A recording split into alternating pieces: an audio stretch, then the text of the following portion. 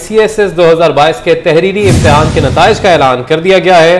Federal public service commission के जारी करदा नतज के मुताबिक सी एस एस के तहरीरी इम्तहान में बत्तीस हज़ार उनसठ उम्मीदवारों ने हिस्सा लिया। इसी पर बात करेंगे। बाबर शहजाद तुर्क हमारे साथ मौजूद हैं। बाबर बताए गए नतज के हवाले से। सी एस एस दो हज़ार बाईस के तहरीरी इम्तिहान का जो है तहरीरी इम्तिहान के नतज का ऐलान किया गया है। तहरीरी इम्तिहान के लिए बत्तीस हज़ार उनसठ उम्मीदवारों ने अप्लाई किया था।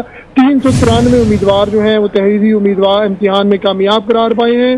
कामयाबी कामयाब उम्मीदवारों का तनासब जो है, वो कामयाबी का, वो सिर्फ़ वन पॉइंट नाइन फोर, एक इशारिया चौरानवे फ़ीसद रहा है। आमिर सुहेल बर्की जो है वो पहले नंबर पे है, अक्सर रऊफ दूसरे नंबर पे, आयशा गुलजार तीसरे नंबर पे, दानियाल खान चौथे, मलिक हमजा महमूद पाँचवें और मारिया हमीद जो है वो छठे नंबर पर कामयाब करार पाई हैं।